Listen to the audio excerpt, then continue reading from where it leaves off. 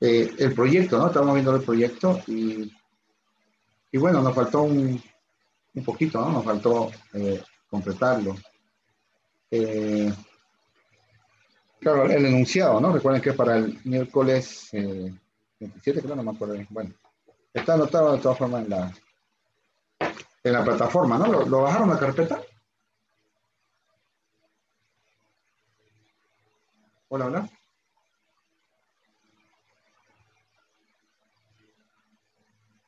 Hola, hola, ¿se escucha? Eh, sí, ingeniero, sí. ¿Sí? ¿La bajaron la carpeta? De, la han bajado, ¿no? La, ahí está la carpeta con lo que hicimos. Yo lo tardé un poco porque puse, le puse unos comentarios, unas cosas para que ustedes lo vean. Eh, bueno, tenemos, eh, tenemos la, decir, el, tenemos ahora cómo, cómo quiero que lo presente, digamos, el proyecto, ¿no? No, no va a ser en modo, en modo texto, ¿no? Lo pueden hacer en modo, eh, en modo de un formulario, ¿no? En modo, se dice modo gráfico, pero no sé si está bien dicho. Eh, usar formulario, ¿no? Usar, usar ventanas, ¿no? Para presentar el proyecto. Bueno, más o menos así, más o menos, más o menos. Lo voy a anotar ahorita, en este momento. Más o menos así. A ver, poner en la pantalla. La pizarra, ¿no? Y esto es así. Se podría...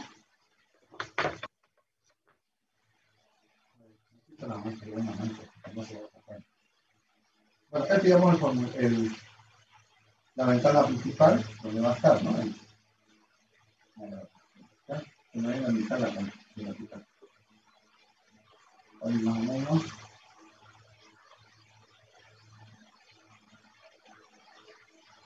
Más o menos, ¿sí? Claro. Eh, eh, aquí va un menú. Eh, eso es solamente una sugerencia, ¿no? Más o menos para que vean los, una especie de caso de uso que van a ver acá. Pues va un menú acá.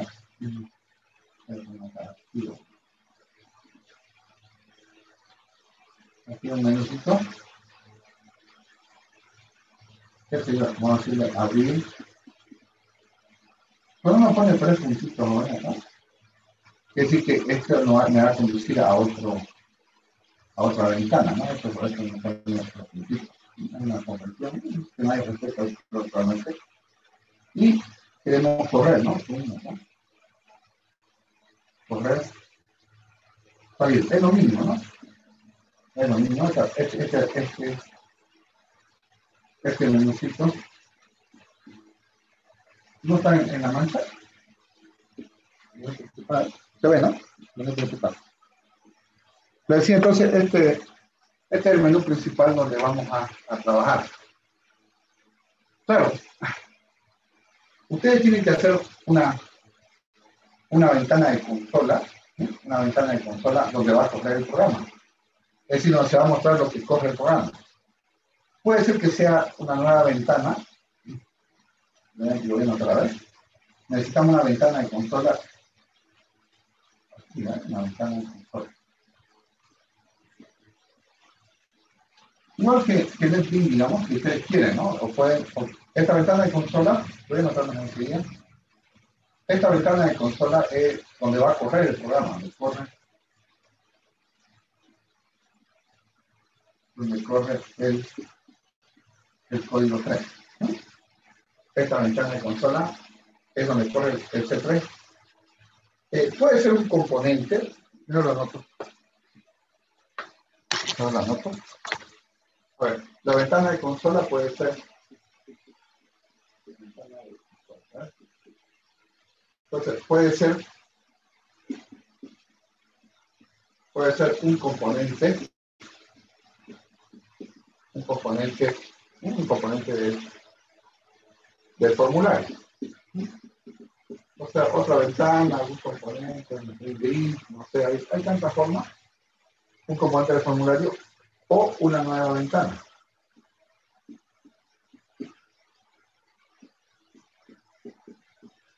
Una nueva ventana. Entonces la ventana de consola puede ser un componente, o sea, de repente es una un grid, ¿no? Que se puede poner un, grid ahí, un componentito, eso puede se lo puede poner y correr ahí, ¿no? Para manejarlo esa, consolita. Claro, de modo que el, programa sí sepa dónde, dónde va a sacar sus resultados. O una nueva ventana. Ok. Bueno, el, el abrir abre el archivo, ¿no? Entonces, es fácil. El abrir haría eh, el, el, abrir, ¿no? Hace que se me abra un... Esto se llama JFrame User, así. ¿Lo conocen este, este componente? JFrame User, ¿no? Hola,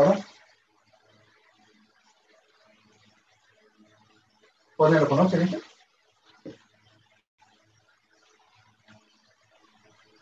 ¿Cómo se escucha bien no? Eh, no, nunca había usado en pero se puede investigar cómo usarlo. Pero claro, eh, eh, yo le estaba dando el, el, nombre en, Java, ¿no? Pero lo conocen, seguro que sí. En, en Delphi lo han hecho. Pero de todas formas a veces los muestro. Eh, a ver cómo es. Voy a voy a buscar un ratito. Voy a aprovechar hay un práctico de. Haríamos ahora aquí. Este es el. Otamino, no, este es un ejemplo de práctico del sistema de expertos. No importa, solamente el JFile choose cuando uno hace así. A ver, no sé qué ahora. Eh,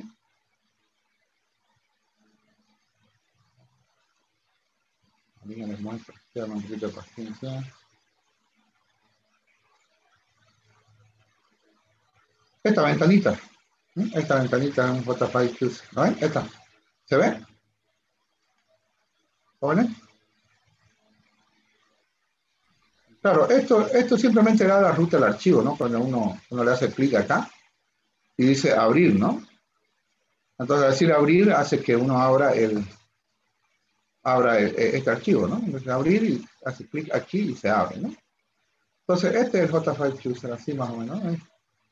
Es un componente de Windows, en el caso de Java, Java lo implementa él solo y lo, lo corre, ¿no? En el caso estos son, son DLLs de, de Windows, ¿no? Windows, Windows lo, lo, implementa esto, ¿no? Entonces en Delphi lo han visto ustedes que lo pueden, lo pueden utilizar, ¿no? Eh, file Open lo que se llama en este componente. Entonces en el abrir, abren un file chooser y escogen, o sea, abren, hacen que se abra uno de estos y el, nuestro usuario va a escoger el que quiere correr, digamos, ¿no? Hace, y le hace clic en abrir. Él, él, sabe, ¿no? El usuario sabe cómo escoger. Entonces, con eso escogemos, escogemos el, el escogemos nosotros el, el, archivo, ¿no? El archivo que queremos correr. Entonces, aquí en el JFile Choose nosotros tenemos que escoger eso. Así, ¿no? Entonces, seríamos, aquí está cuadrado, punto C3, entonces lo escogemos este. Y por aquí decimos abrir. O open, debe decir de repente en inglés, entonces uno lo escoge, él escoge eso y ya con eso se carga, ¿no? Se carga el, la máquina virtual. Vamos a así, ¿no? Digamos pm.open y bueno, la ruta, ¿no? Si ya está dentro de un directorio, en una carpeta, ¿no? escribe al cuadrado punto Este sería nuestro código, ¿no? Escogíamos esto y lo abrimos, ¿no? Esto no. Esto, yo te a ver si hablamos un poquito, si quieren, ustedes que se vea aquí el, el archivo, eh, si, quieren ver el archivo que se vea, que se vea en pantalla, ¿no? El, código del programa. Nosotros no somos un IDE, ¿no? En ningún momento no, no permitimos editar ni nada. Nosotros somos, ejecutamos, nosotros somos un runner de, archivos C3, somos corredores, ejecutores del, del punto C3. ¿Se entendió hasta ahí, Boris? Más o menos. ¿Aquí bien? Muy bien. Y luego, luego una vez cargamos el archivo, entonces decimos run, ¿no? Claro, si él quiere correr y no hay nada cargado, damos un mensaje, no ha cargado ahora ningún archivo. Entonces, él lo abre y luego decimos run, ¿no? Hacemos clic en run. Muy bien. Entonces, acá está. Entonces, room, simplemente haríamos pm.junto. Entonces, el otro hacemos, ya se corre el archivo, ¿no? Corre el archivo cargado. En este ejemplo estamos cogiendo, esto sería correr cuadrado.c3. Entonces ahí correríamos cuadrado.c3, ¿no? Y lo correríamos cuadrado.c3. ¿Ahí se está cortando? Bueno, salir de para salir, ¿no? del, del programa. O sea, finalizar el programa. Muy bien, eso sería básicamente lo que, eh, lo que debe hacer nuestro programa, ¿no? Básicamente. Básicamente. Ahora, veamos las cosas que son opcionales, ¿no? Opcional, ¿no? Esto obviamente tiene, tiene un portal. Nuevamente, a ser sincero, si todo estaba muy bien así con lo básico, le pongo un 80, ¿no? Y, y bueno, lo opcional hace que que vea más excelente el programa. No es opcional, ¿no? Es por el, lo restante, ¿no? A veces se aquí algo un poquito, el opcional también a veces eh, ayuda bastante en la nota, ¿no? Opcional, ¿no? Sería mostrar, mostrar el archivo C3, el archivo encargado, ¿no? El punto C3, en, en la pantalla. Eso el cargador te voy a mostrar cómo se bastante sencillo, ¿no? en la, en la parte está en el formulario. En el formulario.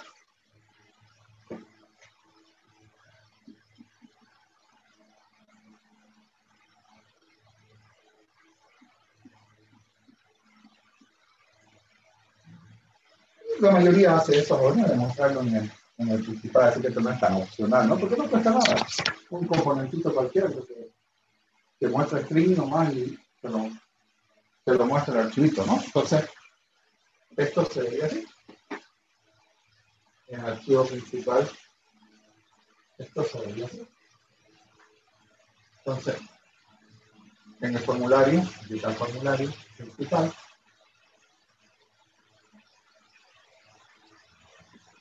aquí está donde dice archivo, aquí está el menú, ¿no? Archivo que no, no lo abrimos.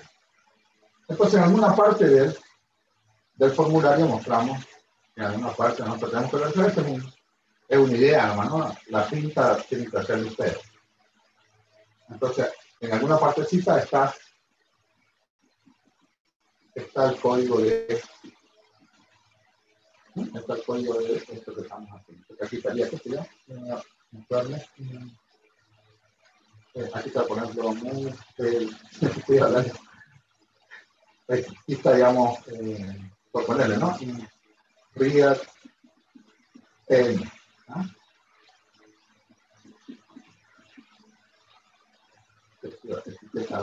etcétera, ¿no? Aquí están todas las, tal como lo vemos nosotros, tal como lo vemos en, lo vemos en, en la consola, ¿no? Por esto lo ponemos en un componente.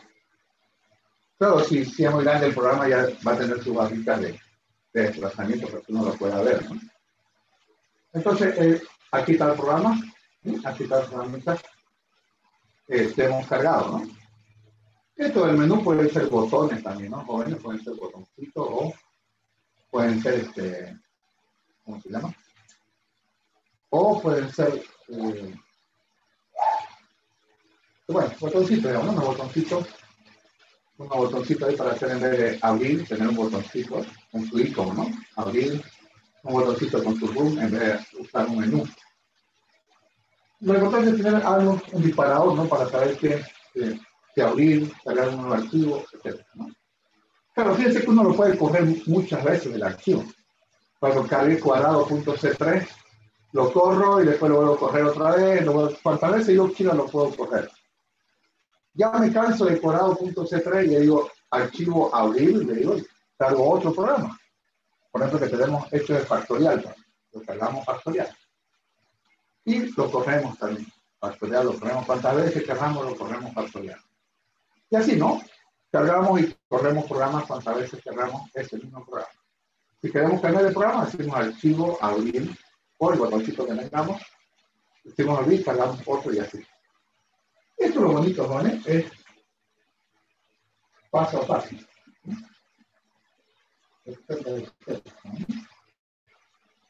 Paso a paso, a ver cómo sería.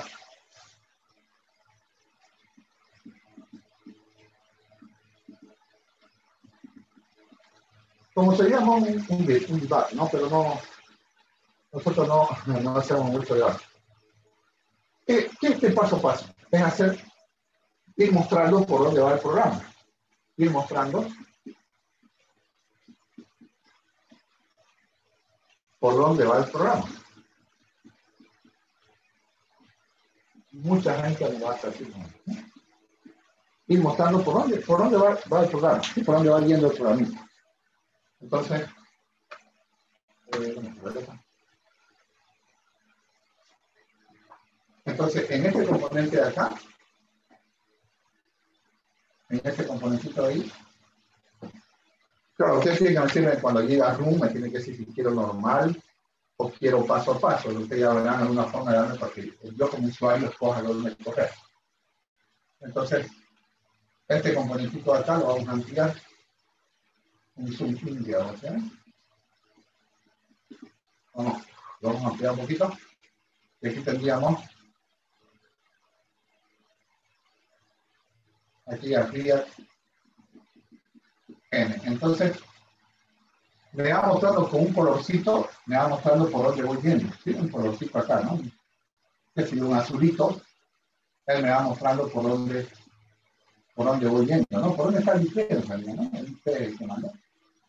O sea, si hablamos internamente, ¿no? El, el usuario tiene por qué mostrarle el IP, que tiene el IP, lo que sea. Tenía cualquier. Entonces, él va mostrando con un colorcito, lo va mostrando, ¿no? Paso a paso. Ok. ¿Se entiende, Juan? ¿Alguna preguntita?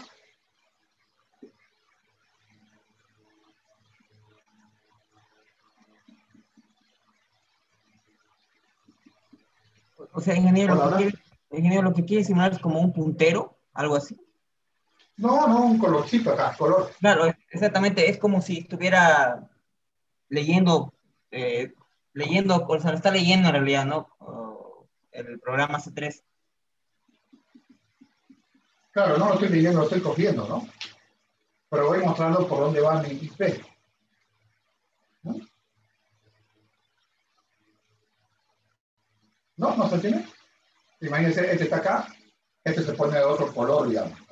O por, si quieren poner una flechita también, ¿no? Me voy a poner de otro colorcito un color de fondo diferente. ¿Ah? Pero con otro color, no un color de fondo. Entonces se va, se ve que el colorcito se ve por dónde está cogiendo. ¿Por la hora? Sí, está, está bien. Entonces existen dos maneras, ¿no? Existen dos maneras. Existen dos, dos formas, ¿no? automático, o sea, que el solito vaya. Automático, o sea, qué sé yo, que, que el, el, el ejecute una línea, haga una pausa y continúe, ¿no? Eso con un timer, ¿no? Un timercito, claro. Una línea, haga una pausa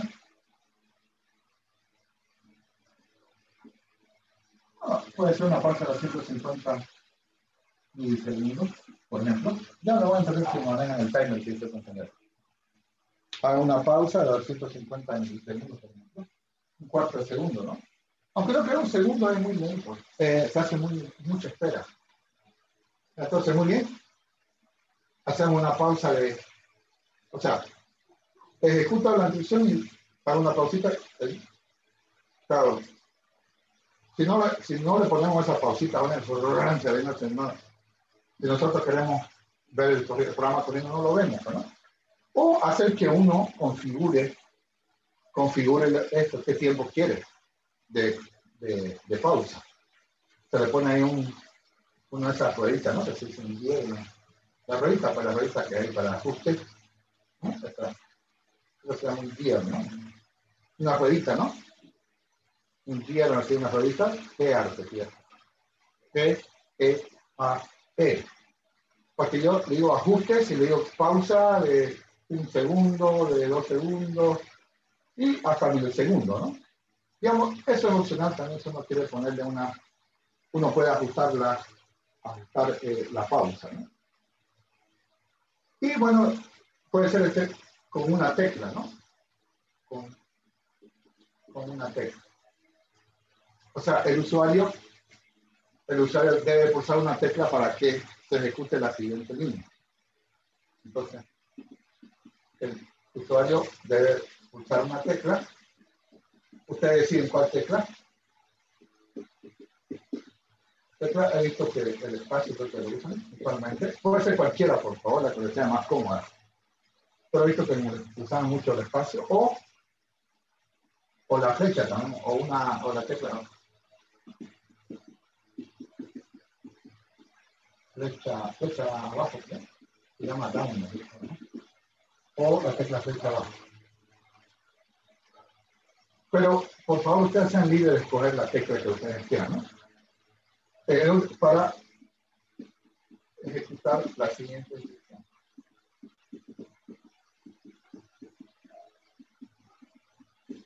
Entonces, en este caso, nosotros a dar la opción al usuario de decir, bueno, ¿querés automático o querés por tecla? ¿no? Tenemos las dos opciones ahí y puede configurar la pausa, ¿no? Él puede configurar la pausa. Entonces se ve, se ve ahí, se ve, eh, yo puedo verlo, ¿no? Correr el programa, ver línea por línea por dónde va, ¿no? Por dónde va el programa. Puedo verlo, ¿no? Paso a paso. Ya sea automático, no es tan paso a paso, pero bueno, pero se ve por dónde va el programa, ¿no?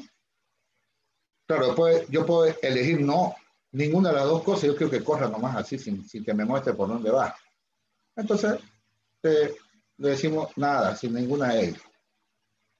Entonces yo escojo en, yo puedo decir yo quiero que sea automático o quiero que sea, eh, o quiero que sea este, eh, manual, ¿no? O sea que yo puedo hacerlo paso a paso.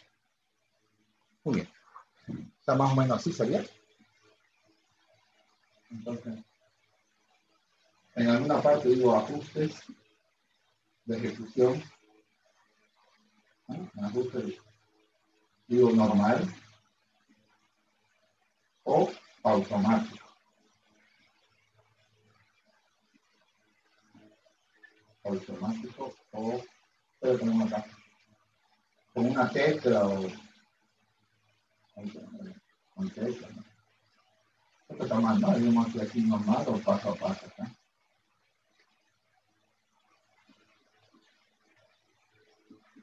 Claro, y este ya escogería un submenú, ¿no? Que ya, ya tendría, aquí poner un chevron, perdón, eh, aquí a poner automático o con una tecla. Entonces el usuario puede escoger, ¿no? En automático también puedo escoger en una ventana, puedo escoger eh, pausa, ¿no? Puede estar, de, como decía, 250, creo que está por aquí, milisegundos, ¿está? Eh, 500 milisegundos, un segundo, etcétera. Ustedes porque ustedes son los que van a probar y van a decir cuál es el tiempo más, los tiempos más o menos más comunes, ¿no? Entonces, por default puede estar escogido, puede estar escogido este, ¿no? 250 milisegundos. Hola, ¿entiende? ¿Jóvenes? Sí, se entiende, ingeniero. ¿Se entiende, no? Ok. Entonces, eso es, ¿no? Eso es lo que, lo que les pido. ¿Alguna consultita que tengan?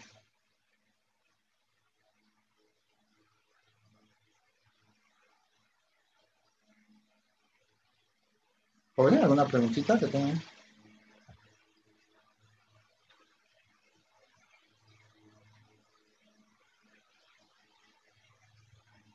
¿Jóvenes, alguna preguntita que tengan sobre esto? Ingeniero, una pregunta. Ingeniero. Sí, sí, lo escucho. Solo tiene que mostrar las instrucciones nomás, ¿no? Del, ¿Del código? Claro, la, del código, claro, las instrucciones y por dónde va. Pues. ¿Y el resultado? ¿Cuál? El resultado en otra consola, en la consola de salida. Es igual, hay que hacer en modo gráfico, en ventana. Claro, en modo gráfico, ¿no? En modo gráfico. Puede ser otra ventana o uno hacer su propia consolita, no es complicado eso, es sencillo. Hacer su propia consola. Ah, ok. Eso lo deciden ustedes, ¿no? Entonces el programa sí tiene que sacar en esa consola, ¿no? Entonces las traducciones RAID S, por ejemplo, de RAID, de RIAD, deben estar trabajadas en modo gráfico. Por ejemplo, en el RIAD N, en el RIAD N, por ejemplo, lo trabajaría en otra ventana. N igual, le pondría una ventanita donde, donde tenga un input box, ¿no? ¿verdad? ¿Se entiende bien? O sea, un, lugar, un edit, no sé, donde se, mete, se ponga el valor de N, digamos. Eso, eh, eso ustedes lo ven, ¿no? Lo solucionan. Aprovecho que son alumnos de tercer año, digamos. Entonces, sé que pueden hacer. ¿Mm? ¿Alguna otra consulta que tengan sobre esto? Hola, hola. No se entiende. ¿Se entiende? Ok. Para mostrar una cuadrupla, esto quería mostrarles hoy. Lo que pasa es que van a, necesitar ustedes para, mm, van a necesitar para eh, para mostrarlo en, en, una consola, ¿no? Es muy simple, solamente hay un toestring en la cuadrupla, pero de todas formas se lo quiero hacer aquí para que... Eh, si tienen una cuadrupla, ustedes le dicen toestring y ella lo, ya los tiene como un string, la cuadrupla, ¿no?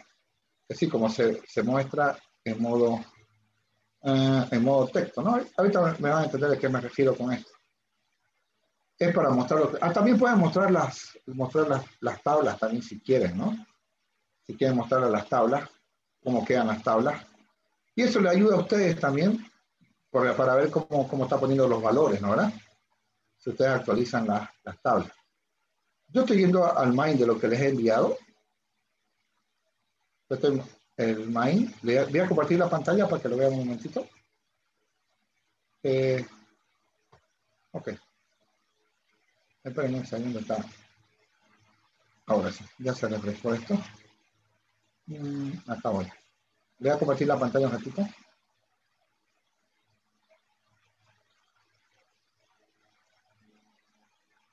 Bien, acá, ya, acá voy. Entonces le voy a compartir la pantalla acá, ¿lo ven? Esta es la pantalla que están viendo ustedes. Eh, este C3 que está acá, Aquí lo está en el comentario, ¿no? Lo ha hecho Juli, digamos, para poder acceder directamente a él. No debería ser, ¿no? Porque este es un campo de la clase máquina virtual, ¿no? Virtual Machine, pero era para que sea más fácil. Entonces, miren, por ejemplo, yo podría hacer esto. Le voy a un ratito. Es el cuadrupla. Para si yo quiero mostrarlo, ¿no? Cuadrupla C, digamos, ¿no? Y voy a sacarlo de, de, este, de este C3 de acá por decir bm.c3 y me, le digo que lo mismo que hicimos para, para la traducción, ¿no? Dame la cuadrupla número, digamos, inventémonos que sea la número, la número 1, digamos. Tenemos 0, 1, 2, 3, 4, ¿no? La número 2, digamos. Dame la cuadrupla 2. Entonces, esa cuadrupla yo la puedo, jóvenes, la puedo ponerla en un string. Lo estoy haciendo paso a paso para que ustedes vean que es fácil, ¿no? Decimos C. Podemos decir así también. Lo que pasa como tiene tu string, podemos hacerlo así directamente. O, si no se entiende, C punto tu string. Creo que está mejor, ¿no? Entonces, fíjense. Este run lo voy a, lo voy a poner en el comentario. Miren. Digo, dame la cuadrupla empiezan la cuadrupla 0, ustedes saben, 0, 1, 2, 3, 4, ¿no? Dame la cuadrupla 2 ya. La ponemos un string y la voy a mostrar. Ustedes ese string lo pueden poner al componente. Esa cuadrupla la pueden poner al componente. ¿no? Entonces voy a mostrar la cuadrupla S, ¿no? La cuadrupla S. Al poner tu string yo puedo decir muestra C, digamos, ¿no? Y ya está, pero ahí también. ¿Se entiende el código? Lo he hecho paso a paso. Dame la cuadrupla número 2 del código 3. ¿Está bien? y mostrarla en la pantalla. ¿Mm? Eso es lo que he hecho. Ustedes, ¿para qué me sirve esto? Ahorita les explico, así que no les, no les caen qué les sirve todo esto. Voy a correr un ratito. Voy a traer un poquito de la primera ejecución.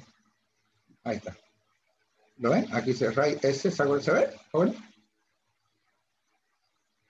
¿Jóvenes se ve? Se ve, ¿no? Esa es la cuadrupla número 2.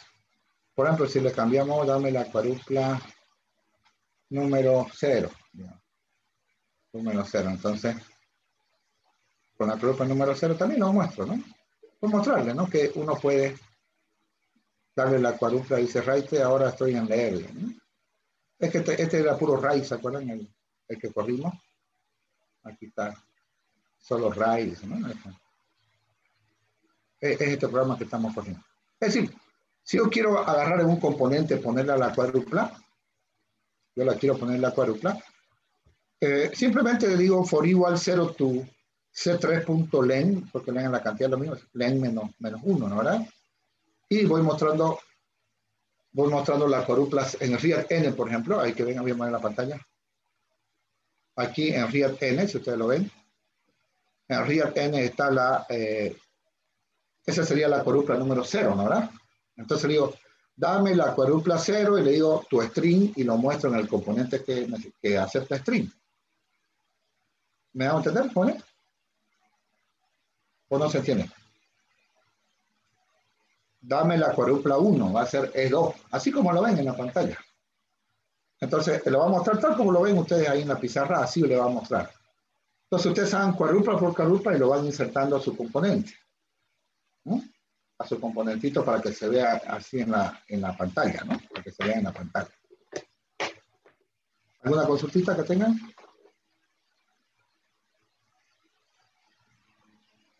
No se entendió todo. ¿Se entendió? Ok, jóvenes. Entonces, manos a la obra, jóvenes, ya pueden hacer el programa. No se olviden que después vamos a tener una, vamos a tener una defensa del proyecto, ¿no? Ustedes solamente pueden enviarme y van a defender de lo que ustedes me manden, ¿no? No, lo, lo posterior. Vamos a esperar, ojalá ya hasta después de la presentación podamos obtener un permiso, ¿no? Para presentar el proyecto, ¿no? Para poder ir a la universidad en pequeños grupos, ¿no? Que sea... Nosotros podemos hacerlo en un solo grupo, somos pocos, jóvenes. En el caso de compiladores, ¿no? Las otras materias las que están un poquito complicadas, ¿no? Muy bien. Eh, podemos pasar entonces a otra, a otra unidad. Ya tenemos, sí, tenemos ya creo todo para poder trabajar. Creo si no me estoy olvidando de algo.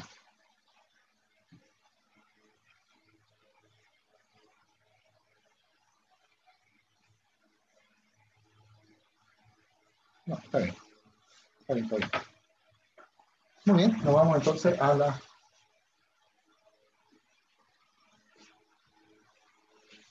a la siguiente.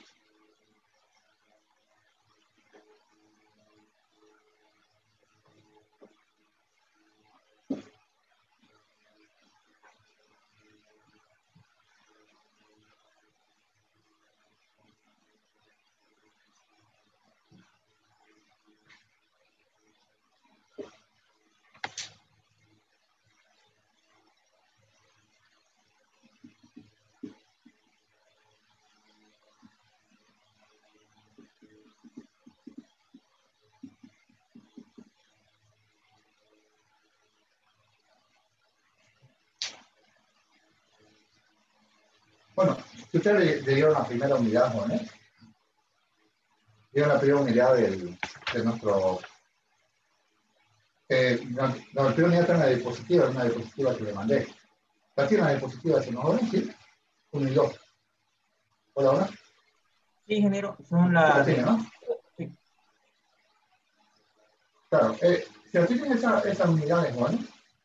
Esto, esto va así, ¿no?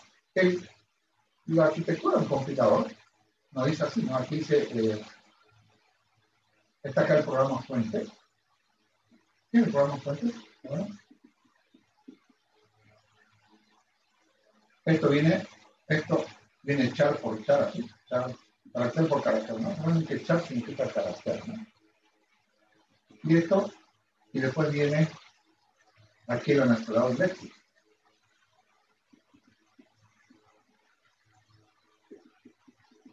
Y aquí devuelve copia. ¿eh? No soy un copionazo, ¿no? porque me copio la arquitectura del compilador. Entonces, por eso puedo dictar esta materia, porque en realidad soy un copión. Me copio la arquitectura, una arquitectura joven de, que tardó décadas de hace. La primera aproximación tardó 18 años. el primer compilador tardó 18 años en hacerse. Porque no, no tenían nada.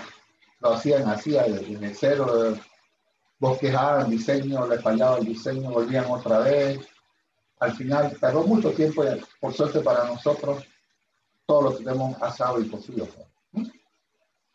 ¿El programa fuente qué es? Más bien. ¿Qué es el programa fuente? Es un texto plano. Ajá, un texto plano es donde está nuestro, nuestro código, ¿no? El código que escribimos nosotros en modo texto. ¿sí? Ese es el programa fuente, ¿verdad? Entonces, el programa fuente, ejemplos a ver el programa fuente. Hace un ratito le mostré un programa fuente, ¿no? Un programa fuente. De todas formas, se lo vuelvo a mostrar. Decimos este es el fuente. Por ejemplo, que ven acá es el programa fuente main.java, ¿no? Main.java. Main.java. Entonces, este es el programa fuente. Es, un texto. Un texto y obviamente el, eh, el compilador, ya hablamos sobre ese compilador, no entiende, el compilador no entiende lo que es un texto. Eh, perdón, la computadora no entiende lo que es un texto. Y esto se convierte a código, ¿qué código? Hola, hola.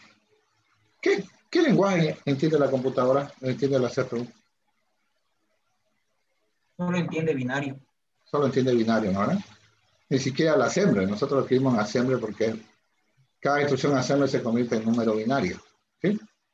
Entonces, bueno, este, este es un programa fuente. Este es el programa fuente main.java. ¿sí? Este sería el programa fuente de pila pila.java. ¿sí? Entonces, este es el fuente, es un texto, ¿no? Un texto con el lenguaje, ¿no? Las instrucciones, obviamente, están escritas en ese lenguaje. Entonces, este programa fuente, este programa fuente, la primera fase del compilador es la más lenta, se llama analizador léxico, que es la que queremos ver, la que queremos estudiar hoy en día. Hoy día. Eh, bueno, volviendo a esto, ese es nuestro, nuestro, nuestro, nuestro gráfico que tenemos en este momento. Ese pro fuente puede ser pila.java o main.java y carácter a carácter lo vayan enviando a, un analizador léxico, ¿no? Un analizador léxico.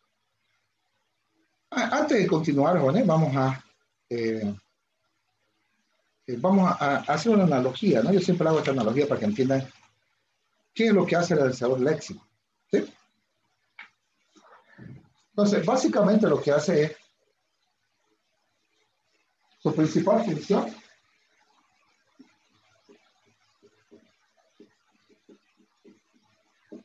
principal función es encontrar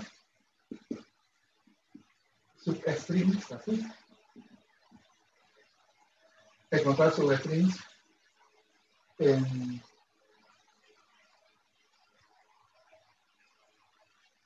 que pertenecen a, no quiero ser muy formal, porque estoy utilizando la palabra correcta, que pertenecen, que pertenecen a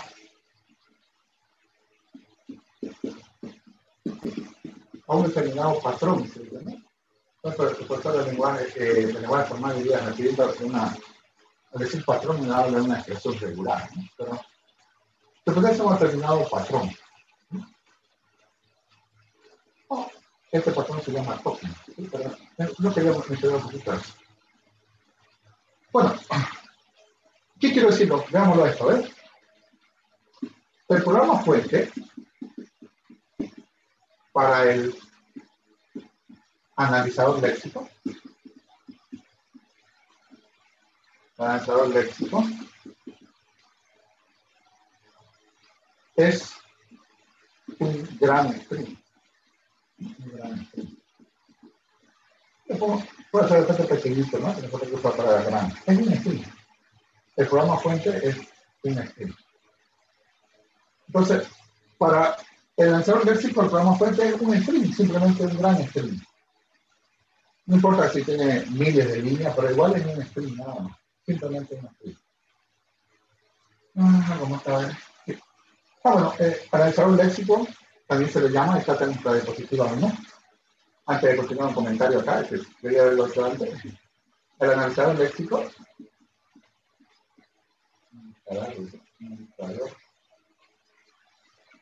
Analizador léxico lo conocen como escáner. También le dicen eh.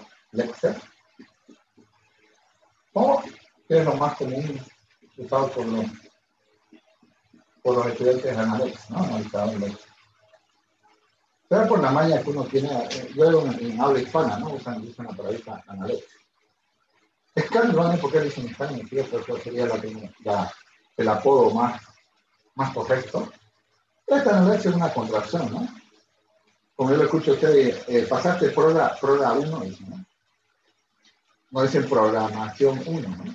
Dicen programa. Así entonces no hacen una contracción de Analex, ¿no? De, esas, de estas tres palabras dicen analizador léxico. ¿sí? No muy poco uno dice analizador léxico, lo dice, ¿no? En forma formal, pero dice Analex, mayormente la, la usan la mayoría de los días Analex. Y yo siempre también le llamo Analex. Muy bien. Bueno, volvamos un poquito esto. El programa fuente es un gran stream.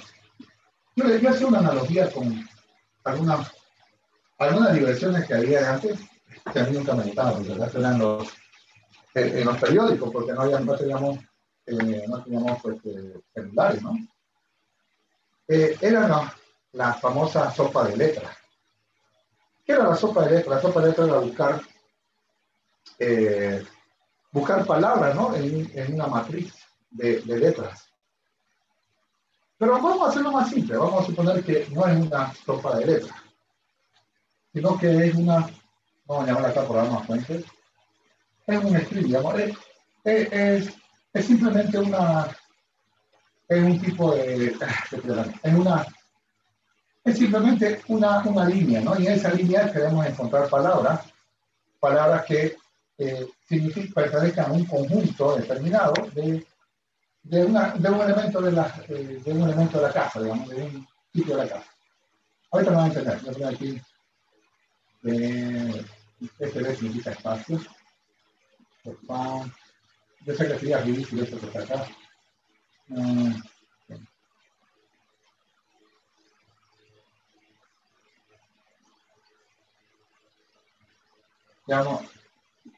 ¿no? Vamos, vamos a poner una cosita acá, vamos a suponer que esto y una A, B,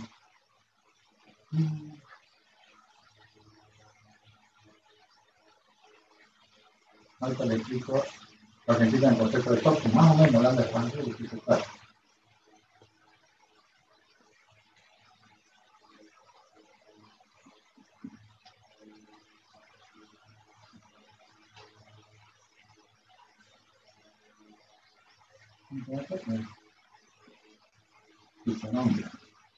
Supongamos, debemos encontrar las, las palabras.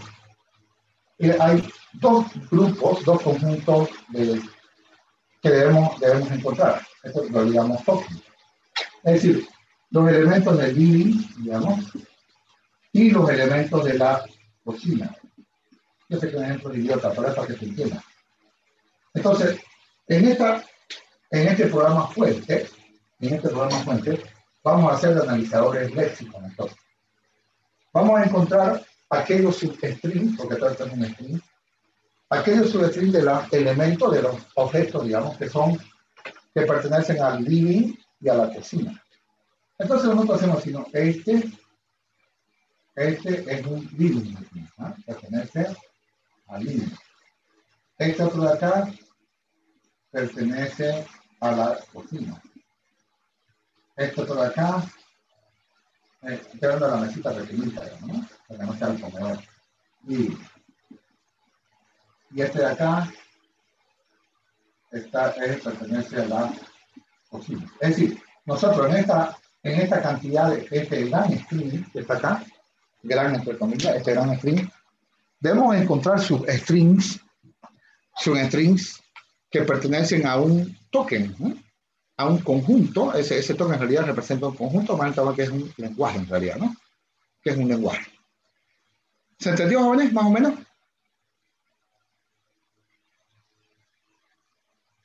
Hola, hola. Hola. ¿Se entendió? Eh, sí, ingeniero. Eh, lo, que, lo que trata de decir en realidad es que, que tenemos que reconocer eh, ciertos patrones que pertenecen a ciertos grupos, ¿no? O, nos imaginamos que pertenecen a un grupo determinado. Claro, a, a, un grupo determinado, un lenguaje en realidad determinado, ¿no? Entonces tenemos que encontrar quiénes son los... solamente este ejemplo, un error léxico haría esto, ¿no? Busca quiénes son, digamos, nosotros tenemos que programarlo, obviamente, y por si acaso lo vamos a programar. ¿eh? Es buscar, digamos, aquellas, aquellas, este, buscar aquellas, eh, aquellos substrings, ¿no? Que nos digan, que nos digan eh, que esa, esa palabrita pertenece a un conjunto particular, digamos, ¿no? A un conjunto particular. Por ejemplo, sofá y olla eh, sofá y mesa, por ejemplo, pertenecen al living, digamos. Olla y cucharón pertenecen a cocina. Yo pongo un ejemplo bastante, eh, bastante sencillo, digamos, ¿no? Bastante sencillo. En la práctica es un poquito más complejo, digamos, la cosa, porque tenemos que, no son solamente dos tokens, digamos, no son dos conjuntos. Los dos conjuntos que tenemos aquí es living y cocina. Son muchos más conjuntos, ¿no? Muchos más conjuntos. Entonces, por eso necesitamos nosotros eh, utilizar los lenguajes formales, los, un teorema especial de los lenguajes formales para poder reconocer estos, estas palabras, ¿no? reconocer estas palabras en el gran programa fuente. ¿Alguna consultita más o menos? Si algo no se entiende. Sigo pensando en el proyecto, ingeniero, voy a disculpar. Claro, dígame.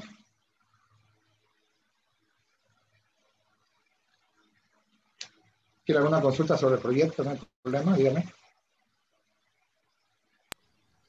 Lo estoy viendo ahorita. ¿Cómo, cómo lo, lo descargué el archivo. ¿Perdón? Recién lo descargué el archivo.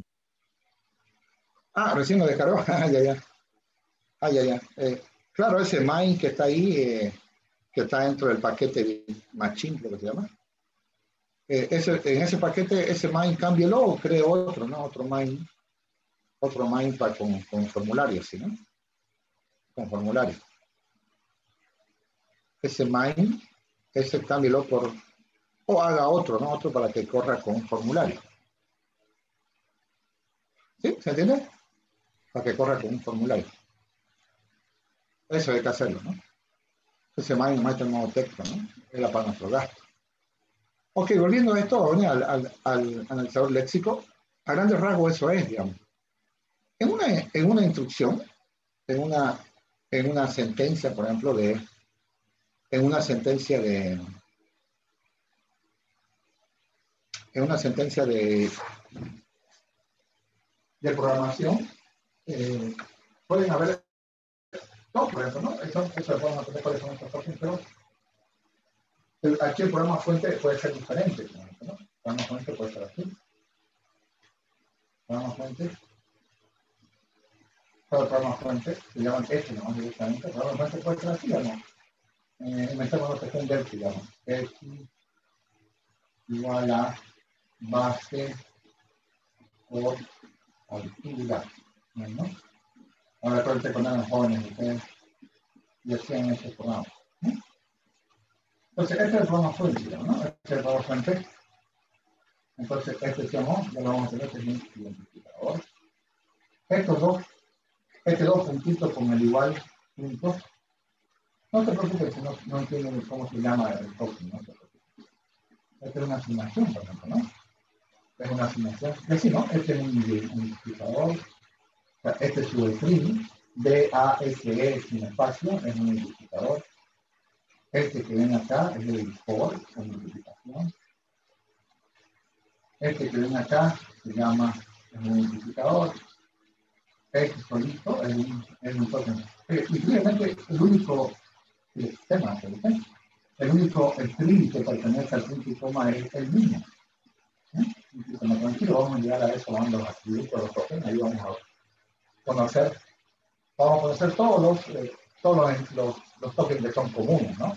Y si hay alguno que no, no se le inventa el nombre, ¿no? Pero la mayoría ya está eh, bastante trillado, ¿no? Los lenguajes que nosotros manejamos hoy ya está sumamente trillado, ¿no?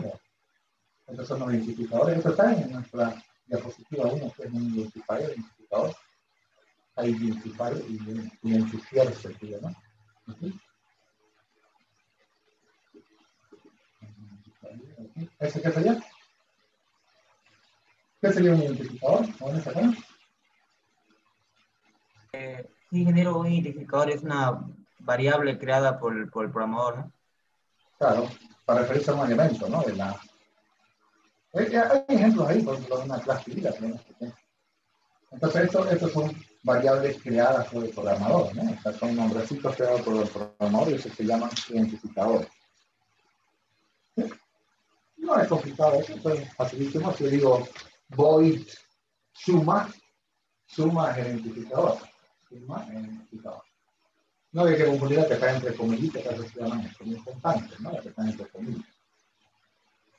Eh, muy bien.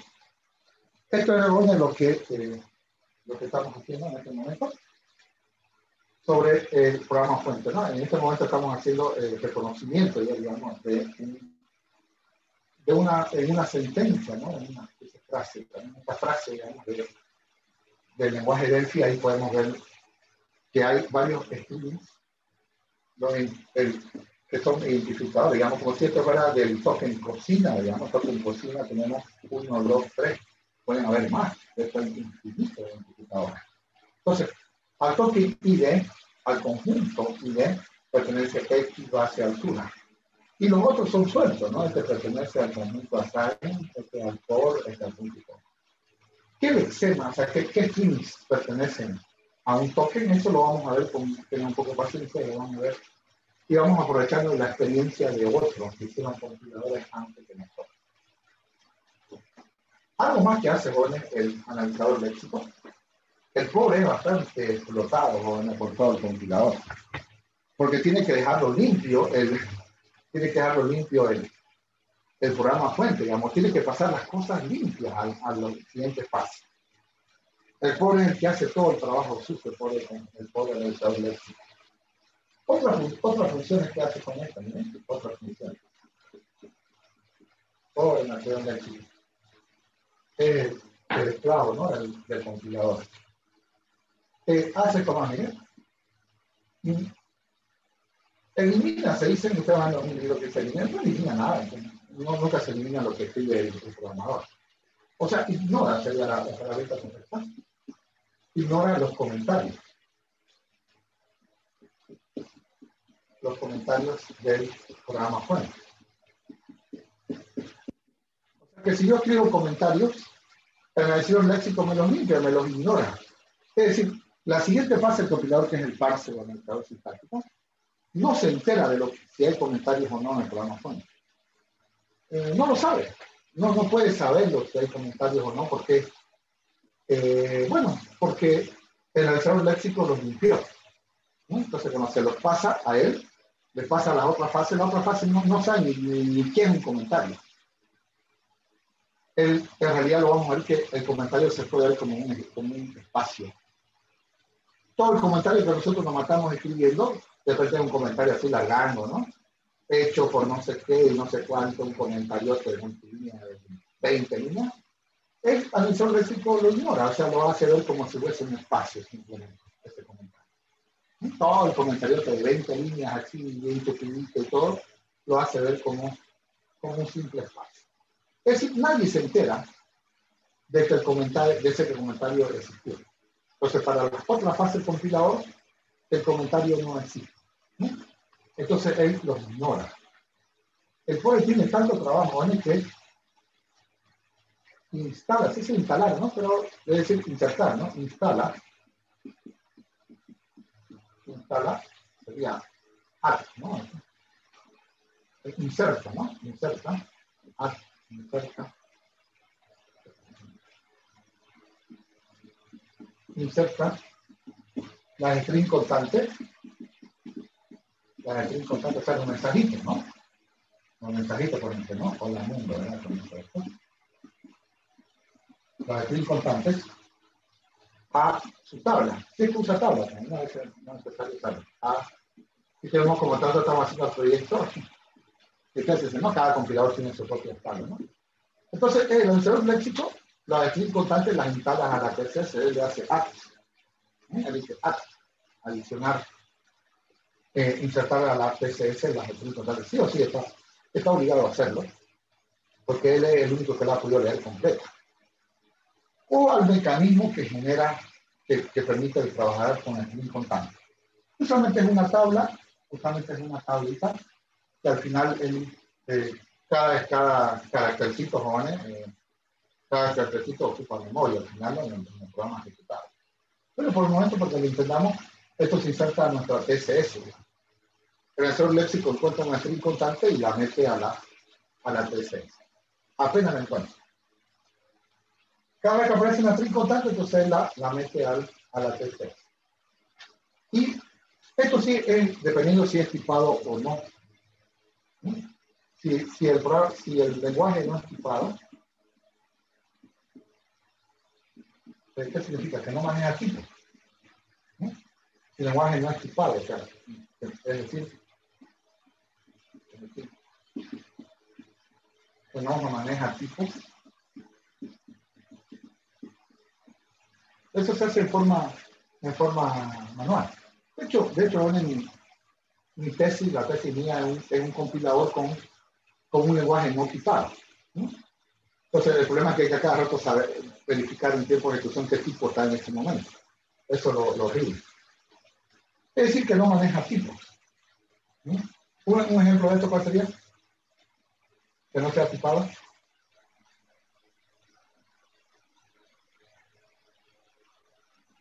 Python, Python, por ejemplo, ¿ah? Python, JavaScript, ¿ah? ellos no manejan tipo, ¿no? Por ejemplo, Python, JavaScript, ellos no manejan tipo. Bueno, si lenguaje no es tipado, ese, ese es el lío, ¿no? No podemos dejar que el parser, que es el que, se acostumbra, eh, que el digamos, los identificadores, este es solamente con los casos cuando el lenguaje no es tipado. Instala, o sea, adiciona, ¿no? Inserta, ¿no? Insertar los identificadores a, a la TSID, ¿no? A la tabla de... Estamos hablando así, recuerden, recuerden, Juan, eh, cada diseñador crea su propia tabla de símbolos, ¿no? O sea, él crea una tabla de símbolos. Hay una, una estructura que se llama display, así como display, eh, que, que, sirve, ¿no? Que es mucho, obviamente, mucho más completa y más compleja, ¿no? De manejar. Pero es, digamos, la, la preferida por los lenguajes de programación profesionales, ¿no? Un compilador profesional utiliza una display, ¿no? Una display. La, en mi tesis yo tuve que usar una display, no, por por lujo, sino porque no me quedaba otra, ¿no? Porque era un lenguaje más o menos complejo, entonces tenía que, eh, al tener procedimientos, dentro del procedimiento tener variables locales, entonces hay que tener una, una estructura más, más fuerte, ¿no? Una tabla más fuerte. Pero para que la entendamos, entonces, si el lenguaje no es tipado, si el lenguaje no es tipado, los identificadores se insertan a la, a la TSID, la tabla que tenemos nosotros, a la tabla de identificadores. Nombre, valor cantén, ¿no? Esa, esa tablita de inserta. O sea, si es procedimiento, le pone adicionar procedimiento. Si es variable, adicionar variable, con el tipo que está definiendo. Bueno, no es tipado, entonces lo deja, lo deja en blanco. El tipo. Ahora, solamente por comentar, ¿no? Si es, si es tipado, por ejemplo, Pascal, ¿no? Java, en lenguaje tipo, ¿no? En el tipo de Pascal, Pascal, Pascal, ¿no? Java, etcétera, CS. Que tipado el, el parser, El parser tiene el siguiente que vamos a ver en esta, en esta materia. El parser, el estado sintáctico. El parser inserta, inserta eh, los a, a la T a la tabla de identificador. Que ocupado, ¿no? Que. Es que cuando es tipado ya el, parser sabe qué tipo, o sea, cuando completa la frase sí se sabe qué, qué tipo es la variable. Cuando no es tipado, entonces necesito conocer el tipo. Digo, var x, ah, bueno, x, se va, lo metemos a la, lo metemos a la tabla, no porque sabemos, no tenemos que esperar conocer el tipo, si sabemos que no tiene tipo. En cambio, si decimos var x dos puntos integer, entonces, ah, tenemos que esperar que diga integer para poder poner x. O al revés, dice int x, lo hacemos en Java, ya sabemos que esa x es entera. Pero tenemos que esperar a que esas dos palabritas estén juntas para saber que x es entera. En cambio aquí no necesitamos esperar las dos palabras. Me dicen x más, como es variable, entonces lo metemos a la, lo metemos a la, a la tabla. De todas formas, este trabajo también se lo puede dejar al parser, ¿no? Se lo puede dejar al parser, no es necesario que el analista lo haga. También algunos lo dejan todo nomás al parser. Pero lo hace más lento porque el parser tiene que estar insertando, ¿no? Y no se dedica a su trabajo. Entonces, lo mejor es cargar todas las, como decimos, las, las macanitas, dejárselas al analizador léxico y ya esto hacen el trabajo, digamos, más serio, ¿no? Del, eh, de la, del compilador, ¿no? La parte más seria la hacen a otra fase. Esto no digo que sea, eh, que sea despreciable su trabajo, pero es, es, un trabajo muy lento, muy eh, trabajoso, digamos, ¿no? Es trabajoso esto. Él tiene que ir carácter por carácter leyendo y así, ¿no? Va a ir sacando los, los eh, va sacando los, este, los, los, toques, ¿no? Lo va, va formando los toques. Carácter por carácter. Él lo lee carácter a carácter, no le queda otra.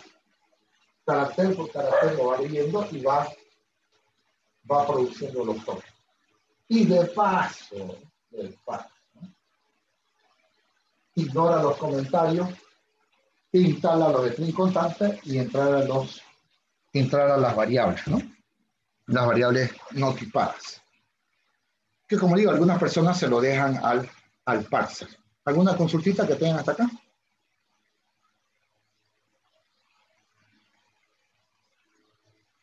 Hola, hola. ¿Alguna consultita que tengan hasta acá? ¿Leí?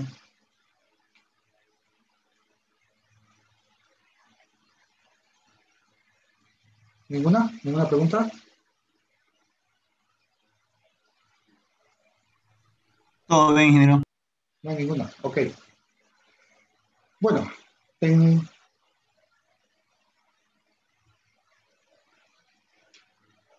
Ahora, ¿cómo manejar el programa fuente? Hay un pequeño problemita con el programa fuente. ¿Cómo manipulamos el programa fuente? El programa fuente normalmente está, normalmente está en un archivo, como ustedes pueden verlo. Por ejemplo, si hacen un, si hacen un programita en Delphi, dice programita.paz, ¿no verdad? Está en un archivo. Si hacemos un programita en, en C, dice .c o cpp, ¿no verdad? Si dice más más. Si hacemos un programita en Java, y obvio, no dice .java, dice, ¿no? El programa fuente. Ahora, pero bueno, puede ser que, como algunos lo hacen, puede ser que también provenga de un editor. Provenga de un editor el programa fuente. Eh, por ejemplo, los IDEs de Java, jóvenes, los IDEs de Java no son bastante, no nos hacen problema, ellos no, no funcionan sin Java. Ellos lo que hacen es este, eh, todo lo que están en, su editor, lo que están editando, lo pasan al archivo. Es decir, antes de correr, ellos sí o sí lo guardan en el archivo. Les quiero mostrar un ratito rapidito para, lo vamos a descubrir con, con. ¿Lo están viendo acá un ratito? Ustedes saben que este es para correr este botoncito, ¿no? Todos sabemos. Se ve, se ve, ingeniero. ¿Se ve? Se ve, ¿no? Y voy a poner cualquier cosita acá. Déjenme poner aquí. Ese más. Bla, bla, bla, bla, bla. No, me pasé. ya. Ahí, ¿no, verdad?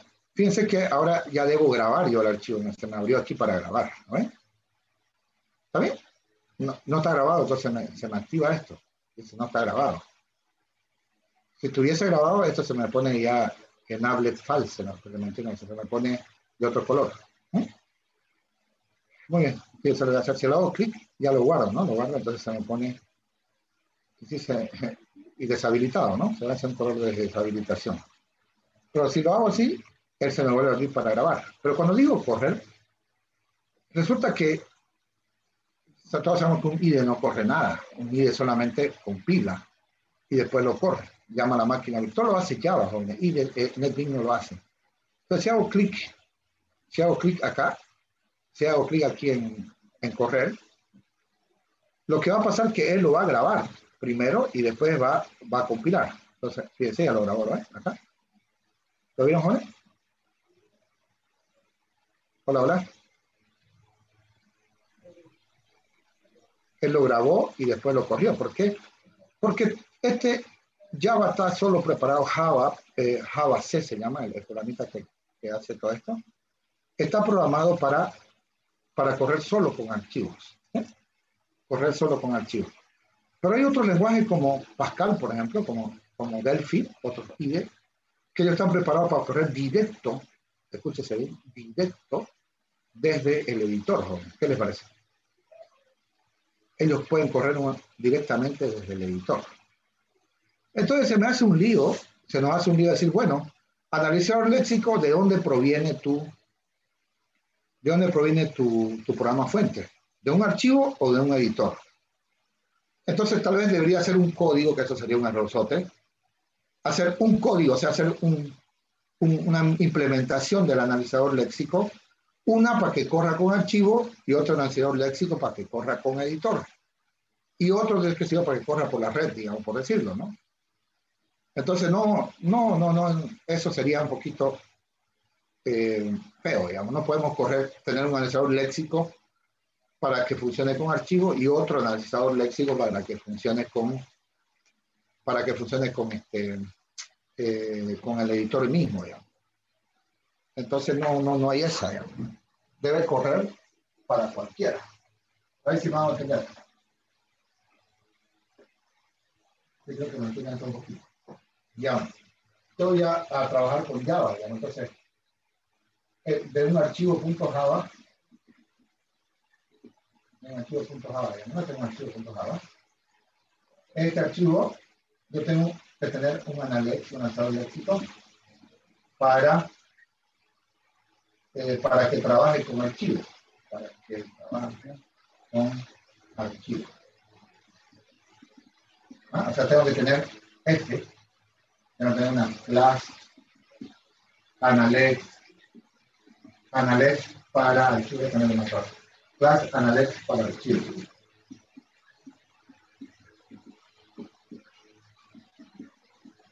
Claro, porque la forma de acceder al archivo es diferente, ustedes saben, ¿no? Se va leyendo carácter por carácter, y él avanza y el cursor del archivo baja al siguiente, así, ¿no? Y si, ¿qué pasa si quiero, si necesito otro que maneje con valores de un editor, digamos? Entonces aquí está es decir, el, el, programa fuente, ese que también ese mind que ven ahí. No se ve muy bien la pantalla, ¿no? Voy a cambiar, voy a dejar esto un ratito. ¿Ahora sí? Hola, hola. Ahora sí, mejor. Mejor, ¿no? Entonces, le decía, ¿no? Si tengo un archivo .java, entonces tendría que tener una clase Analytics para archivos, digamos. Y si va a leer un editor, ¿no? De, va a decir un formularito de un formulario ahí, eh, dentro del formulario un, el memo, ¿cómo se llama? En JText se llama en, Java, un JText donde está, donde está mi programa fuente, por ejemplo, ¿no? Entonces yo tenía que tener, tenía que tener un Analytics. Y esta Analytics sería una clase Analytics para editor. Para un editor, ¿no? Un editor total. ¿Me entiendes? ¿Ahora? Entonces, pero no, no puede ser, tenemos, tenemos que tener un solo Analytics y que trabaje con cualquier, procedencia del programa fuente. Un programa fuente es solamente un string, un gran string, pero ¿de dónde, de, dónde, de, de dónde viene ese programa fuente? De un archivo editor no nos interesa. Bueno, por suerte, recurrimos, como todos compiladores son máquinas, ya tenemos una nomás, ya estamos implementando la máquina virtual, una computadora virtual también. No sé pequeñita, pero es una computadora virtual. Le llamamos máquina virtual. Ya por lo menos, ya nos estamos metiendo que todos son máquinas. Entonces vamos a poner aquí como la cinta de carácter. En cinta de carácter. Vamos a hacer la cinta de carácter. Bueno, es una máquina, ¿no? Es una máquina imaginaria, ¿no? Una máquina imaginaria, ¿no? Es una máquina imaginaria eh, compuesta por, por celdas, ¿no? Compuesta por celdas celdas, ¿no? por cada celda donde donde cada una de ellas,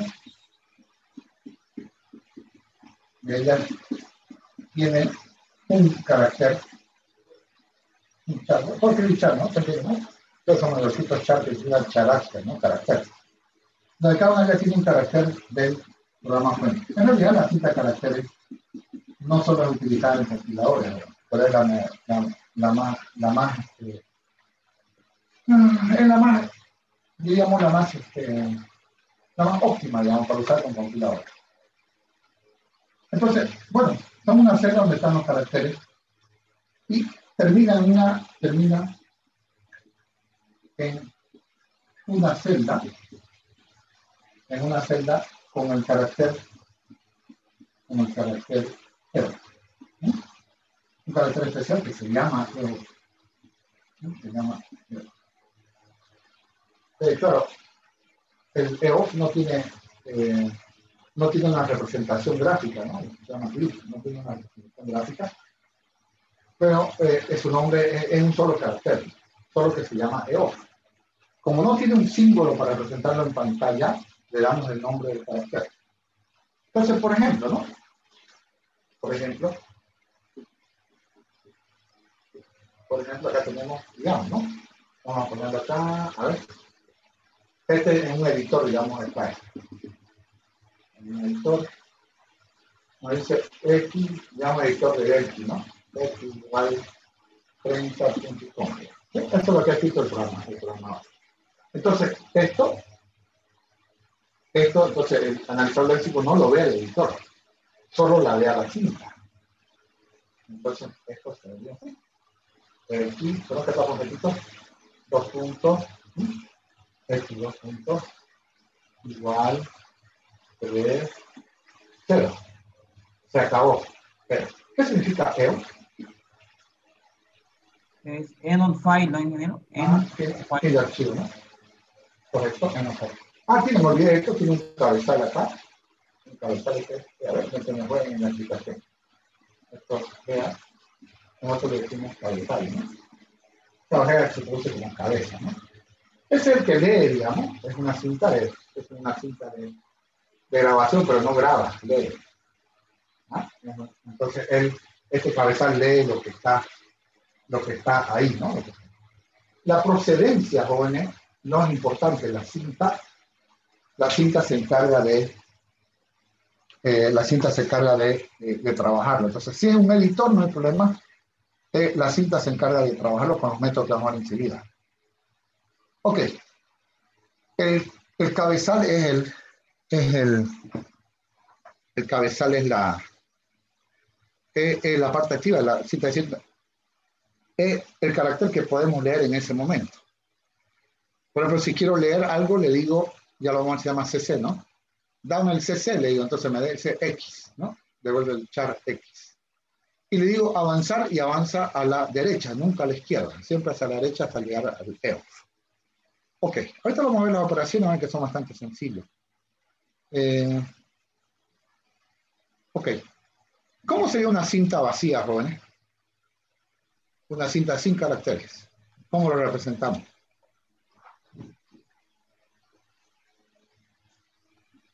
Una cinta vacía, dice ingeniero. Ajá. Ah, bueno, para empezar, eh, el cabezal no tendría que estar apuntando a una dirección válida, ¿no? Claro, no, no lo veo, no, esta es una máquina. ¿Cómo lo implementemos? Todavía no, no hemos hablado. Ah, muy bien. No Ah, pues no habría, no, no, pues no habría cinta porque hasta el vacío puede representar un símbolo, ¿no? ¿No? Claro, ahí está. ¿Lo ves?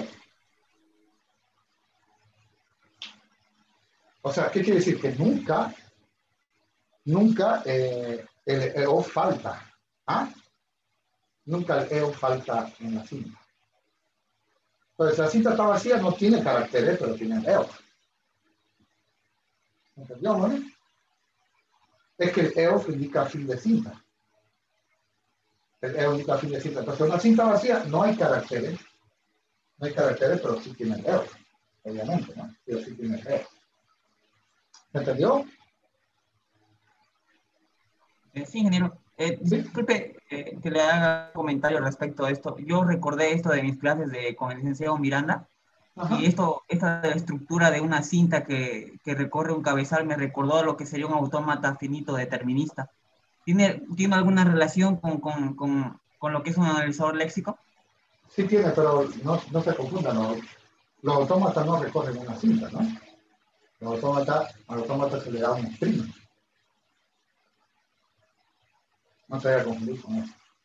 Nosotros vamos a usar la cinta, no se preocupen con autómatas, se llaman di- diagramas de transición. Pero los autómatas finitos no, no recorren una cinta, sino que se le pasa un recuerdo ser. ¿Te acuerdas? y él va caminando entre estados hasta llegar a un estado final, o si lo llega, acepta el string.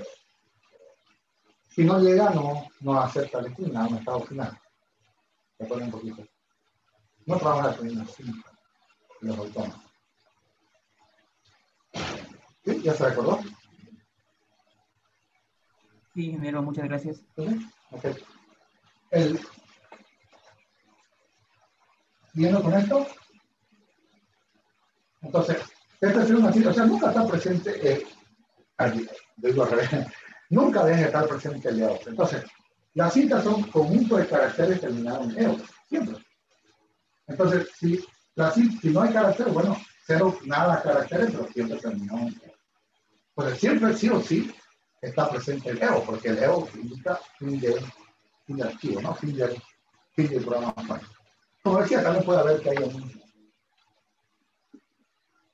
Puede ser que este tenga un archivo, puede ser que tenga un archivo también, digamos, aquí, con el tema de actividad. X. Bien, ahorita vamos a ver.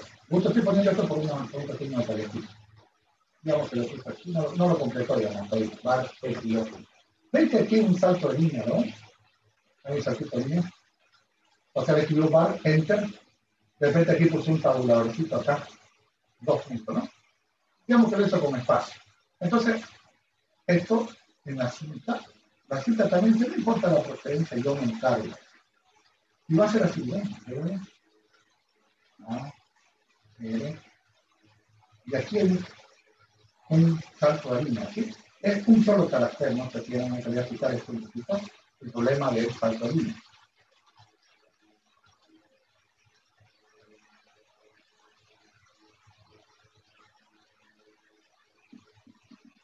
Y vamos a encabezar esta estructura. Ok. Este caractercito no se ve, el salto, cuando usamos enter, este caractercito no se ve. Este caractercito no se ve. Pero, pero da un, una- un efecto gráfico, ¿no? Un- una sensación óptica, yo le digo así, no sé si estoy utilizando bien la palabra, de que, de que cambiamos, eh, de que lo que escribamos está en la siguiente línea. En realidad, bueno, el, editor es el que hace esa, ilusión óptica, digamos, de, que se ve otra línea. Para, todo el mundo, para nosotros, digamos, si, nosotros manejamos el archivo directamente, para la cinta, para el analizador léxico, en realidad el salto línea es un solo carácter. Depende en qué sistema operativo estamos trabajando. Eh, ahorita le voy a explicar sobre eso. Mm.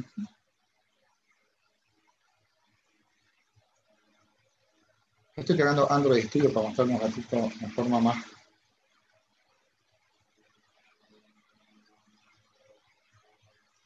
Bueno, eh, el salto de línea, ¿pone? El salto de línea es cuando escribimos y pulsamos Enter. Todos sabemos eso. Escribimos y ya pasamos a la siguiente línea, ¿verdad? Todos sabemos eso.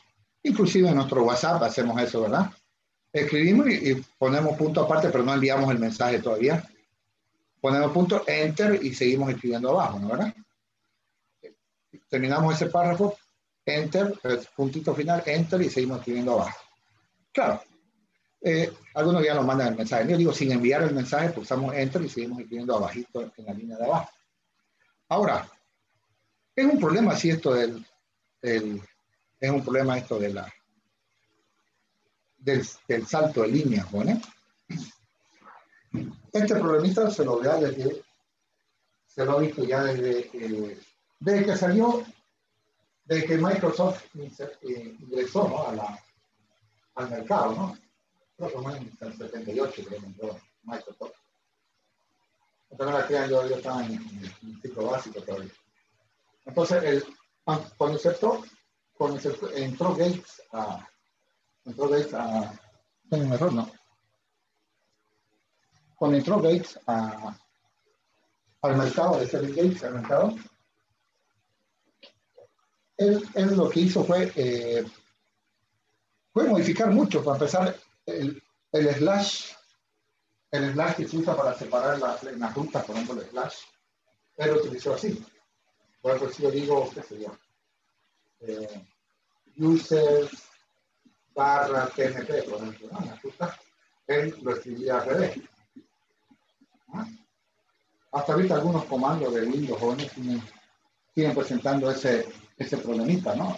Que aún hay que seguir usando el bucket flash, por no usar lo estándar, ¿no? Que se había estandarizado. Era un poquito rebelde, pero el problema es que comenzó todo. Uno de los detalles nuevos es el salto de línea. ¿sí? En Windows, el salto de línea. En Windows, el salto de línea línea se representa con dos caracteres. ¿Lo saben por eso? ¿Cuál es? Dos caracteres, dos caracteres. Son dos caracteres, ¿no? Eh, como no se puede mostrar en pantalla, no, no tiene imagen en pantalla, se llama clip, no tiene ni en pantalla. Se llama así, ¿no? CR, casi Este, este es el carácter número 13 el ASCII 13. ASCII 13. Y tiene el LS en el line key. Este es el ASCII 10. Claro, bueno, todo esto emulaba, porque recuerden que las computadoras fueron creadas en el tiempo de las, de las máquinas de escribir. ¿Se acuerdan cómo funcionaba? Cuando uno terminaba de escribir al final, el carro se iba moviendo, ¿verdad? El carro se va moviendo el carro cuando uno está escribiendo. O sea, el, carro no va moviendo la hoja. Entonces, uno va escribiendo y el carro se va moviendo. Ese es el carro, el carro, el carro, ese es el carro. Entonces, ¿se recuerdan qué hacíamos se manejaba una, una máquina de escribir? Para pasar a la siguiente línea, ¿qué hacíamos? No me digan que nunca manejaban una máquina de escribir. Bueno, aquí hay un ganchito entonces, ¿uno qué hacía? Lo movía el carro, o sea, el carro estaba hasta acá, entonces uno tenía que volverlo el carro hasta allá. Claro, porque aquí estaba la hoja, ¿no? Entonces, esta imagen que es la hoja, esta que estoy escribiendo. Entonces, el carro corría para que uno vaya escribiendo. Entonces, había que volverlo otra vez el carro otra vez acá, volverlo el carro otra vez acá para que pueda escribir otra vez. Pero teníamos que hacer un carry return y line que la hoja se mueva un poquito más allá. Entonces, su salto de línea, su salto de línea de, su salto de línea de, de Windows, de Microsoft, es CRLF. Entonces, su salto de línea de Windows es salto de línea. Esto es Windows, ¿no? Salto de línea igual, entonces establece CRLF. CRLF, ¿no? Eso, eso es lo que está haciendo en este momento. Y, y bueno, eso es lo que estoy... Quería mostrar un momentito acá, miren, estoy... Eh,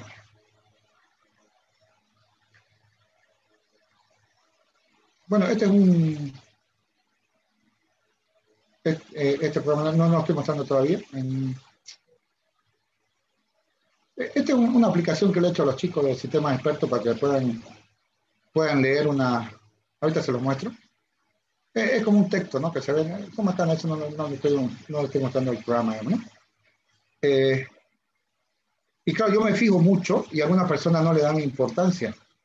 Aunque no crean, algunas personas, bueno, ya mayorcitas, no conocen esto del CRLF. Entonces, cuando abren un archivo en Java, ahorita vamos a ver un archivo en Java que está en, está eh, escrito, los archivos de Java jóvenes por default están en, están en este, están en el formato de Linux. Entonces, como si estamos en Windows, lo abrimos con un blog de notas, ¿han visto qué pasa o no? ¿Jóvenes? Hola, hola. No se ven bien, ¿sí o no? ¿Jóvenes, se escucha bien? Un poco robótico, ingeniero. Un poco robótico. Ahí, hola, hola. ¿Me escucha bien? esa conexión de repente puede ser, ¿no? A ver, eh, voy a mostrar un ratito y ya quiero compartir. Eh, voy a mostrarle, ¿no? Eh, en una, voy a mostrarle, a ver, nuestra Android Studio está. Aquí. Miren, no sé si pueden verlo, perdón un ratito. Aquí abajito, aquí abajito, ¿lo ven? Aquí abajito dice LF, ¿lo ven? Acá. ¿Se ve? ¿Lo ven? Sí, sí, LF. Dice, Todavía no carga mi pantalla, ingeniero. ¿No se ve? ¿No se ve? ¿Qué me dijo? Disculpe. Ya cargó. Perdón, perdón, ¿qué dijo? ¿Qué dijo? No lo entendí. Ya se ve la pantalla. Ya se ve, ah, ya se ve. Aquí dice LF, ¿lo ven? Line separator LF, ¿sí? Entonces, por ejemplo, voy a poner uno. Yo siempre utilizo, eh, utilizo el, lo utilizo siempre el CRLF, por ejemplo, este, este digamos es este, por ejemplo, ¿no? ¿Lo ven aquí abajito que dice?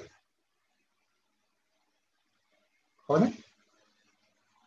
Aquí, aquí, ¿se ve? CRLF, ¿lo ven, no?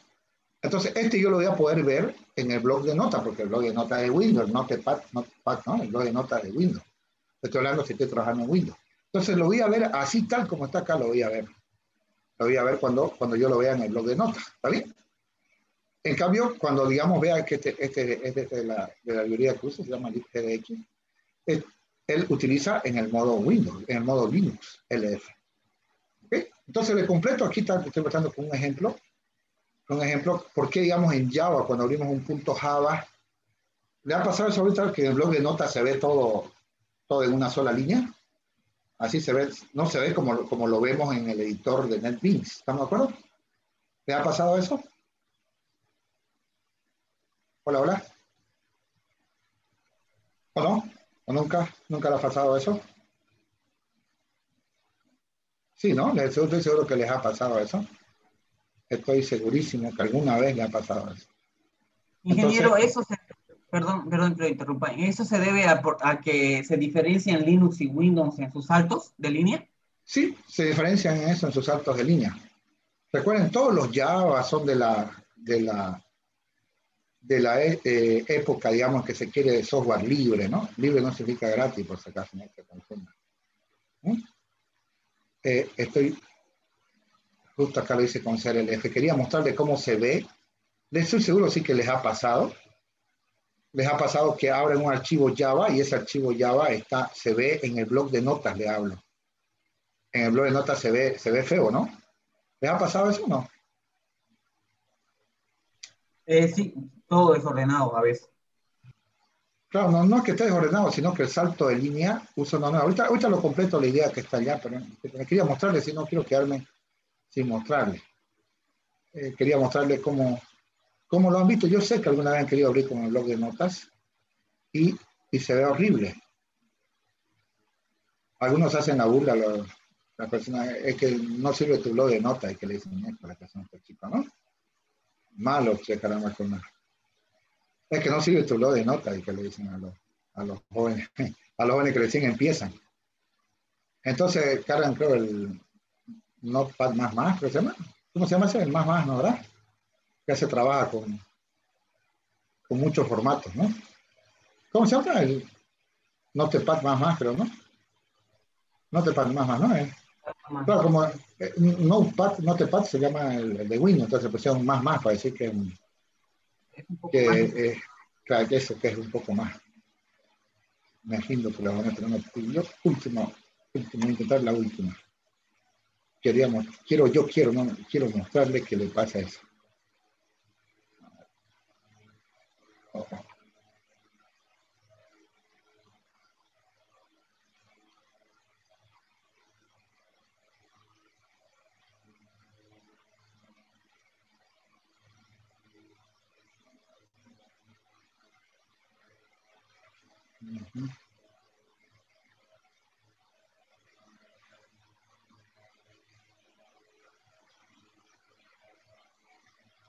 No, me rindo. Todavía no están con CRLF. Pero lo que me mandan los alumnos mayormente son, no están con ese CRLF. Bueno, completo lo que está ya, lo que, está, ustedes están, ya se ve la pantalla, ¿no? La, pizarra, sí, ¿no? Se ve la pizarra.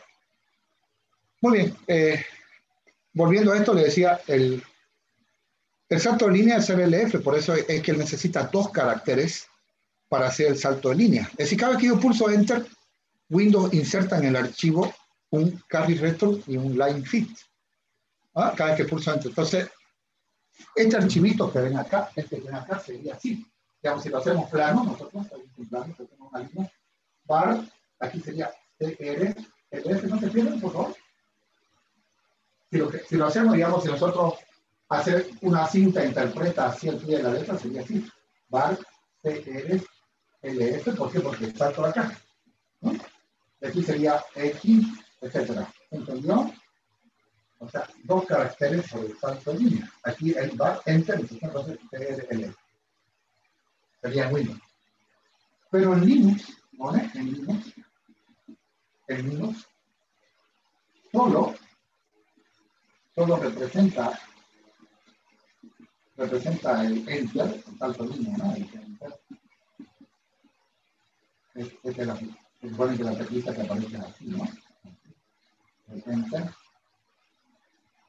El salto línea, ¿no? El el salto línea con el línea, en el ASCII. Entonces, Linux solo, solo representa el enter con el LF, con el ASCII. Entonces, es otro problema a solucionar, aquí siempre, efectivamente. Es otro problema a, otro problema a resolver para la pobre cinta. ¿Qué pasa si, si el archivo que viene es de Windows o el archivo que viene de Linux? Entonces nosotros si estuviésemos haciendo el analizador léxico, tendríamos, ay, otro problema más. ¿Qué, ¿Cuál es el problema? Que puede ser que me dé un editor o de un archivo. Ya, perfecto. Ah, también puede ser el salto de línea en envío. Perdón. El salto de línea es un envío. ¿Por qué? Porque si, si lo hacen en, un editor de Linux o, que maneja el formato Linux, ah, usa un solo carácter de línea. Y si lo hacen en Windows, que seguramente la mayoría lo hacen en Windows, utiliza dos, dos caracteres. Ahí soy, es un lío para mí. Pero la, la cinta de caracteres no dice, Dios, tranquilo, tranquilo. No te preocupes, tranquilo, yo te voy a resolver todo. Para mí no me interesa si el archivo viene con formato de Windows o con formato de Linux. Entonces le hemos llamado al carácter, al salto, le voy a representar con un solo carácter. Con un solo carácter. Y se va a llamar EOLN. ¿Ok? Entonces, EOLN significa en offline. ¿así? Él le da otro nombre, jóvenes, pero internamente lo representa con qué creen ustedes. ¿Quién ganó al final? Esto lo ponemos ahí. Pero ya no le da el nombre LF ni CRLF. no le da el nombre LF, sino le, se inventa un nuevo nombre, el A, E o LN, pero entre nosotros es un LF en realidad. Es un LF. Al final gana Linux. Es decir, bueno, si esto lo escribo en Windows, en, en el notepad de Windows, no pasa nada, no pasa nada, porque la cinta al final se queda con, uno de ellos, con los de los dos caracteres, se queda con uno de ellos. Si el mismo, ah, mejor, pues si es el mismo, mejor, no hay nada que, cambiar. Pero si viene en formato de Windows, la cinta, la cinta, la clase cinta, la máquina cinta, se encarga de, se encarga de que se represente con un solo carácter. ¿Me hago entender, jóvenes? Hola, hola. Sí, ingeniero. ¿Sí? Entonces, qué belleza, ¿no? Con, la- con esta maquinita cinta hemos ganado hartísimo, jóvenes. Hemos ganado hartísimo. ¿Por qué? Porque eh, esta maquinita se encarga para empezar la procedencia del archivo, si es un editor, eh, la procedencia del programa fuente, disculpa. Que puede ser de un editor o de un programa fuente eh, o de un archivo, no sé qué estoy hablando, de un, de un editor o de un, de un archivo, de un editor de un archivo. Y además se encarga el problemita, el viejo problema de hace más de 40 años que causó eh, Bill Gates por su orgullo, ¿no? Por su orgullo de decir yo quiero cambiar el mundo a mi, a mi antojo. Sí, bueno, ya está bien, digamos, pero no puedes cambiar lo estandarizado. Él lo cambió lo estandarizado y nunca se quiso ajustar lo estandarizado.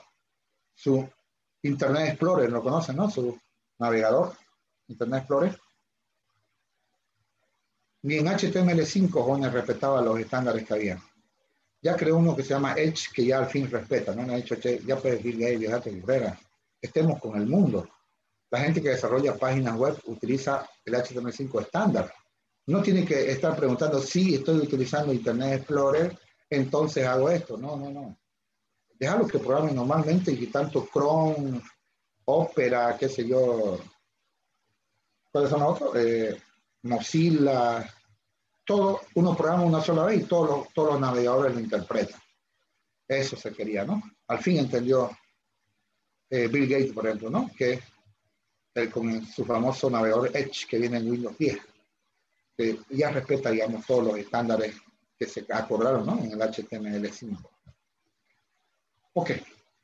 ¿Alguna consultita que tengan, jóvenes? Tenía que terminar la clase, eh, la clasita, pero eh, es suficiente por hoy. Ambos estamos cansados, así que el próximo martes lo completamos esta partecita. No sé si tienen alguna consulta para finalizar.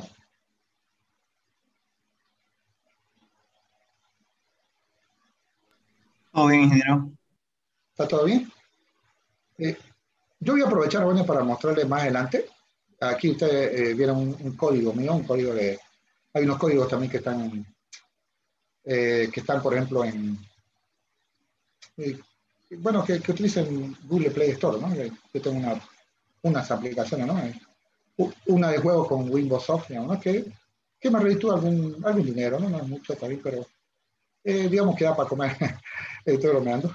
El, y, y, van a ver que yo utilizo autómatas finitos deterministas. Utilizo diagramas de transiciones, se lo voy a, voy a mostrar el código. Que los diagramas de transiciones no solo son utilizados en, en compiladores, también son utilizados en son utilizados en, en, también en desarrollo de software normal, ¿no? Más adelante para que los motive un poquito, que no quieran vencer la materia porque la tienen que vencer, sino que les rescatar un poquito los autómatas como se usan en la, en la vida profesional, ¿no? En la vida, yo digamos profesional a todo lo que nos hace ganar dinero. Entonces, en la vida profesional, ¿cómo utilizamos estas técnicas, ¿no? Estas técnicas que nos han legado nuestros ancestros, digamos, de la informática, ¿no? Ok, jóvenes, los espero el próximo martes. No sé cómo se me pasó la hora. El próximo martes continuamos con, con analizadores léxicos. Hasta luego, ingeniero. Ok, jóvenes. Hasta luego, jóvenes. Buenas, pasen buenas noches.